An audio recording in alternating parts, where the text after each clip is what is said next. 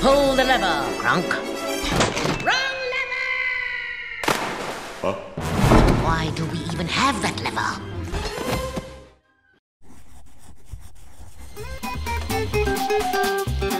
Hello! It is time for another episode of But Make It Vintage. Alternative title, But Make It Vintage. It's been a while. It's been like two months? No, April, like three months. Wow. We are back for another episode, which I'm super freaking excited for. The character that I want to do for this one, which you eh, probably already know because of the title, but the glamorous Yzma. In case you don't know who Yzma is, she's from Emperor's New Groove, which is seriously an underrated Disney movie and one of my absolute favorites. And um, she's a queen. I've noticed a trend where for a lot of this series, I choose villains, and that's just because villains are more fun. It's science. Good guys are boring. I tend to gravitate towards the 1930s when it comes to but make it vintages and I don't really know why that is. I I just it just kind of happens to be that way and so this episode is no different. So I wanted to give Yzma the old Hollywood Mae West Jean Harlow treatment. The idea to do her came from these amazing illustrations of the Disney villains as just beautiful queens. The artist, I believe, is Sveta Shubina. Really hope I didn't murder that last name. Why is it so weird and dark in here? Turn on the living room lights. Magic. But they did a really amazing Yzma. I wanted to go off of that idea and do my own vintage version. I did get a pattern for this. 1937 evening gown. Oh. So, before we get started, this video does have a sponsor, and it is my all-time favorite sponsor of all time. And that is Hunt a Killer. So before we head to design phase, here is a quick word from sponsor Rachel. Let's talk about... This is hard. Murder. As I said, the sponsor for today's video is Hunt a Killer. What it is is a monthly murder mystery subscription box. Each month you will get a box such as this, and each box is a different episode. And within each box, you will find an envelope. And within said envelope, you will find one thing you may not know about me is I am horrible at opening envelopes. Hold on. Shing! Sparkle, sparkle.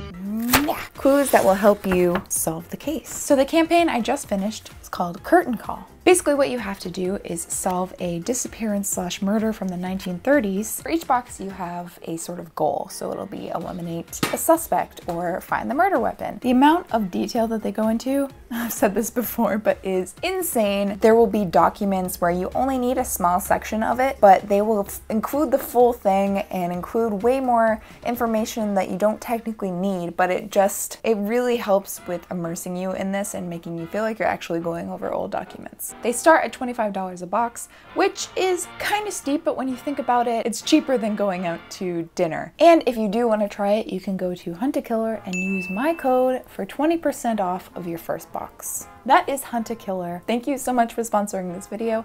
And without further ado, let's get back to Yzma. Welcome back. Let's head on over to design phase and figure out what this glam old Hollywood queen Yzma is gonna look like. Probably important design phase. Quite obviously, we are going to stick with this lovely pattern.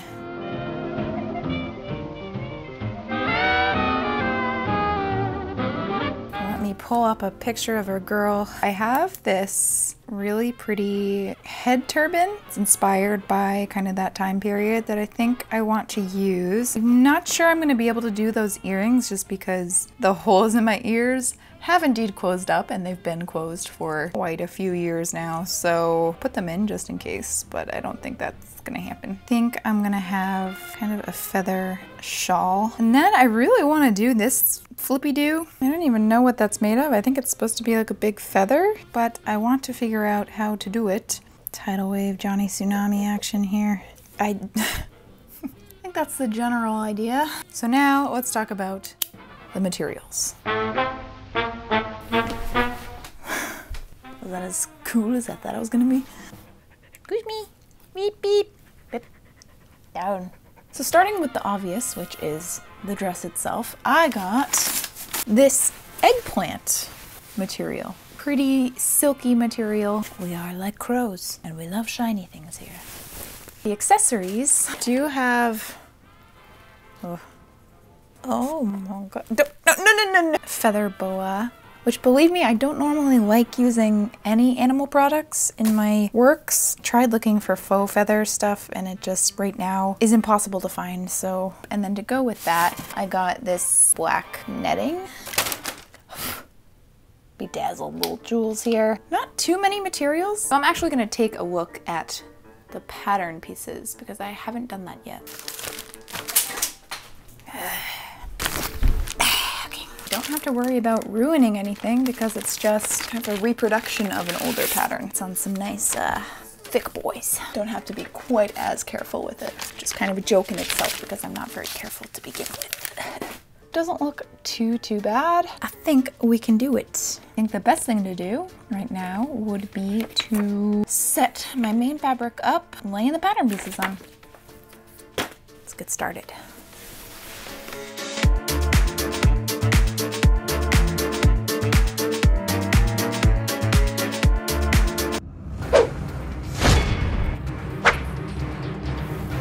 It's freaking carbonated.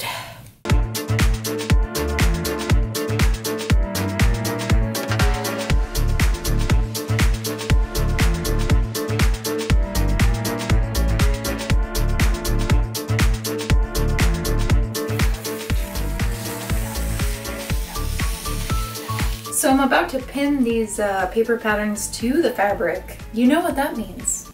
Knee pad time. When I don't wear my knee pads, you guys me out on it, so uh, you asked for this. knee pads.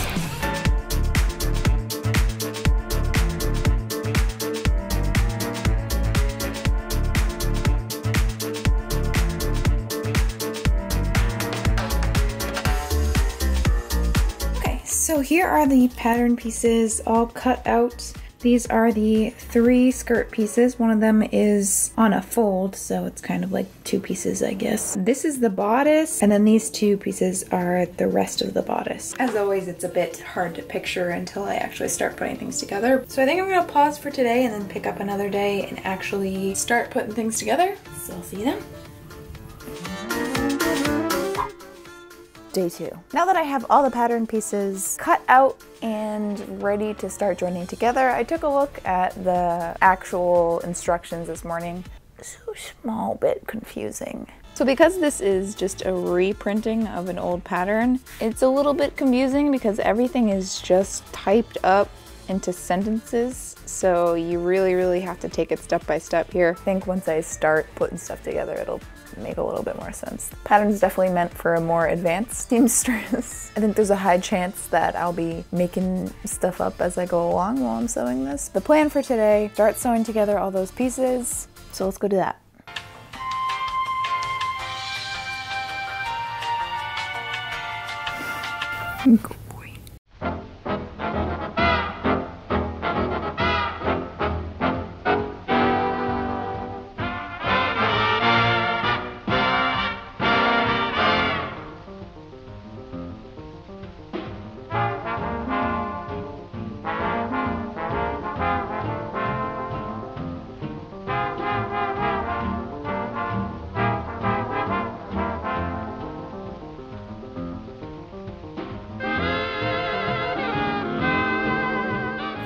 All right, so this is what we have so far. Here's my apprentice. You practicing those stitches? Skirt that's all put together. And then I just finished making it up as I'm going along, fitting these straps to the bodice. So now, obviously, all that's missing is the stomacher. I have to gather this a bit and attach the stomacher on top, just like top stitch. Same with the skirt. My bangs are full-fledged 90s boy teen heartthrob. As my apprentice will show you, I do have a, excuse me, um, sir, I will be taking this from you. Yeah, so it will go, oh no, oh god.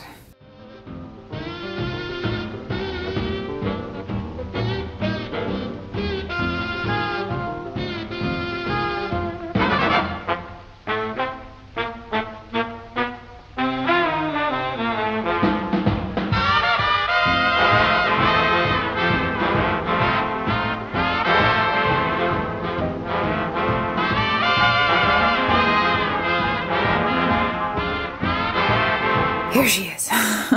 so far, at least. Everything is put together. The top stitching is not super pretty, but it's still something that I'm working to get better on. But uh, we're learning here, all right? Now I just have to figure out how to close it and such. And um, for once in my darn tootin' sewing videos, I'm actually probably gonna hit a goal that I set for myself the top stitching took freaking forever and I swear that if I prick myself with a pin one more time or have to hear another pin drop on the ground, I'm gonna erupt like an old-timey mushroom cloud in a cartoon. So I think that about wraps it up for today. And then tomorrow we can start on all the accessories and the fun stuff like that, so. Day three. Here she is so far so far, meaning the dress is complete. I did try her on and she does fit very nice after a few adjustments, of which don't exactly make total sense. I put some darts in areas that probably shouldn't have darts, but I did shorten the waist a bit because it was a little bit too long in the torso area. I think I'm gonna move on to the feather shawl thing. Hot in here. Are you sweating? That's gonna be pretty simple. I think what I'm gonna do is walk off screen. Freaking mic. Out of this mesh material, I think I'm just gonna make a general cape shape and then quite simply just sew, yep, the feathers to it. That's the plan.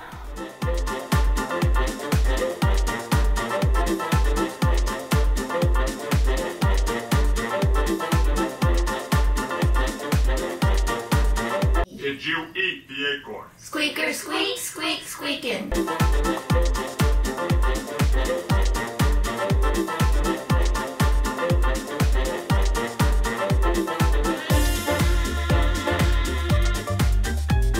Hi, hello, voiceover Rachel here. I initially made this little flippy do out of Worbla, but it just looked really, really silly and I couldn't find a good way to secure it to the hat, so I ended up scratching it. I stuck some of those acrylic gems to the sticky side of the Velcro strips that I have. No specific design for this one, I just kind of winged it. Ta-da! So here is the shawl. And I added some black ribbon on the outside just to zhuzh it up a bit. And now that that is complete, we can start the makeup. Here goes nothing.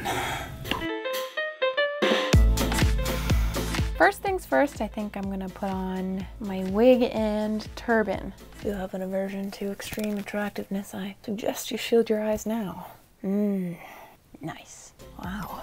The hat, which I'm really hoping fits my head with this wig because it's already super tight on my gigantic dome piece. Come on. Mm. Hmm. Once the makeup's done, I'm gonna go in and fix this mess. I think I want to make my skin color a bit like gray, so a lot more desaturated and a bit more cartoony, kind of like hers. I've done this once before during the face wars, and it worked okay, so I'm gonna try it again. Basically what I'm gonna do is mix my foundation with a water activated paint. I'm gonna mix it with a gray. So it's just gonna desaturate my foundation a bit. My foundation. And then to mix that up,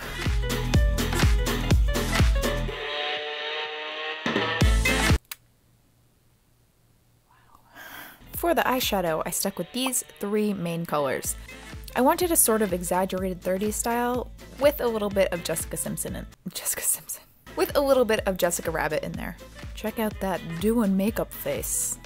Why do I make that face? I put some darker shadow on the bottom lids because 30s makeup was pretty schmooky. I then drew out that exaggerated upper lid to give it a cartoony look. I know this looks like hot garbage. We will blend it out, don't worry. By the end, it will only look like lukewarm garbage. I decided to add some lighter concealer to show that lid a little bit easier. I believe the kids call it a cut crease. And then blended it out with the purple shadow. Taking an eyebrow pencil, I drew on really thin brows at the very top of my natural ones. Then, taking a gray shade, I contoured my face to give it a more dramatic, older age effect. And also trying to match Yzma's features a little bit more. I was not going for subtlety here and wanted it to look a bit cartoony. Mm, Starting to look like Palpatine. Something, something, something. Dark side. I am the Senate. Boys. and then took a smaller brush for those really fine lines and wrinkles. For lashes, I cut up some really thick ones that I have into individual spikes, so they kind of mimic her dramatic ones.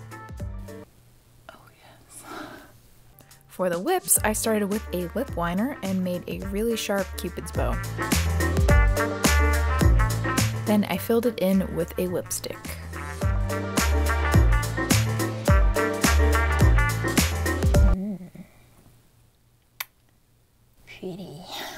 I've got to pop that highlighter.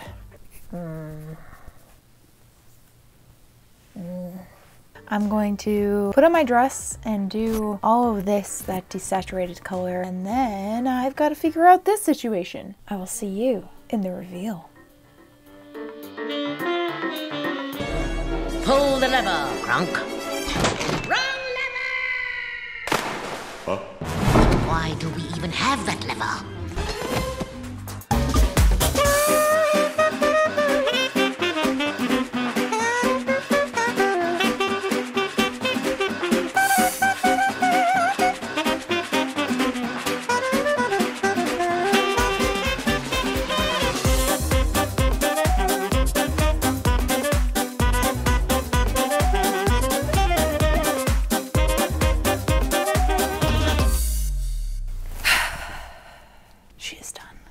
Call this foundation shade Handsome Squidward. So as always with my But Make It vintages, I am going to do a little bit of a wrap up what went well, what didn't go well, what I can improve on, so on and so forth. Overall, I am very happy with how it came out. I really, really like how the dress came out. Definitely something that I would wear again, which is very important when it comes to this kind of stuff and something that I at least try to do, try to make pieces that I can wear again. Because I think otherwise it's a bit wasteful for me to make costumes that are just gonna sit in my closet. It's surprisingly flattering. And I say surprisingly because I struggle a lot with making the clothing that I make fit my body the way that I want it to. I think that's something that must come with experience, and I'm still not quite there yet. Like I said, there are darts in places that shouldn't be darts and such. Uh, I'm not going to show you because you yell at me. But yeah, overall, I'm super happy with it. I think it's really, really pretty. The shawl, I'm not super crazy about. I think the idea was there, but I don't know if it was the color of the feathers or what, but it kind of didn't go with the dress as much as I wanted it to. From certain angles, oh no, how long was that like that? I think from certain angles, I look like Tim Curry from Rocky Horror Picture Show. Don't know. I had fun. That's it. Thank you, Hunt a Killer, for sponsoring this video. I love you whether you're new or old to this channel. If you're new here and you feel like sticking around, feel free to subscribe. I upload every Friday, and we have fun here. I will see you in my next video. Bye! Hey, yug! Dee dee dee dee doo. Freaking frick. I'm such a sloucher. God. Wow, that's bad. Posture. Armpits are sweating. Uh, uh, uh, Made sure to wear a sundress for filming because if I've learned anything in my sewing journey, it's that uh, I sweat profusely. Some would say an impressive amount. It's all about proper ventilation. Purpley. Ah! Wow. So actually, so yeah. testing one, two, three. Sybilis. Oh, this is so itchy. Oh my god. Mm. I hate how this feels. I'd give you a kiss, but you got lots of makeup, so I'm just gonna kiss your shoulder. Love you. Love you.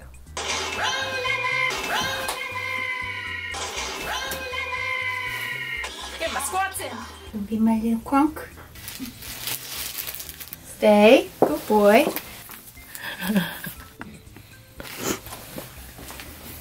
Stay. Rocker, rocker, hurry picture.